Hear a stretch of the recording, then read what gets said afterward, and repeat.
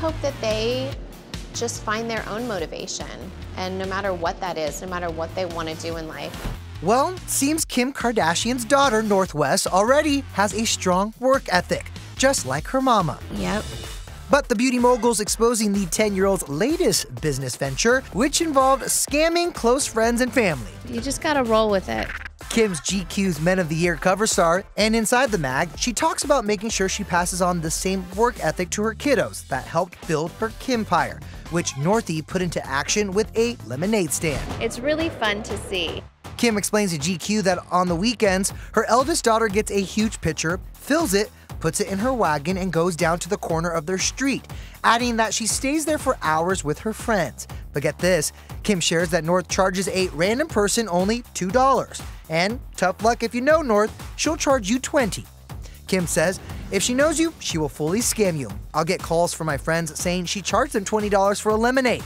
She'll grab their $20 and say, I don't have any change. I don't know what's gonna top that. Now, Northie's little entrepreneurial scam sounds all too familiar, right, Auntie Kendall? Oh my god, just be cool, it's fine.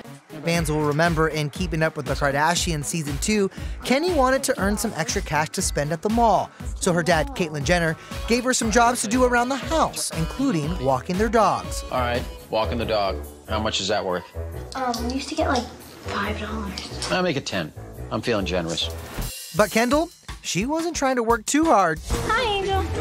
Wow, that's a lot of dogs. How much do you charge? I charge five dollars for a walk.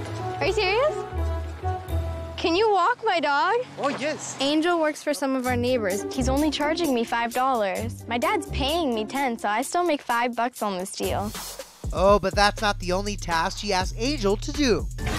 The guy that I hired to walk Ivana, he also does dishes, washes cars.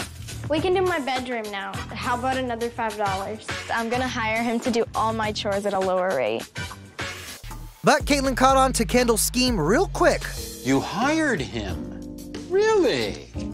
Now, wasn't the assignment for you to make the money? That means you have to work? I appreciate your entrepreneurial skills, but you know what? I don't think I deserve to give you this money because you didn't do the work.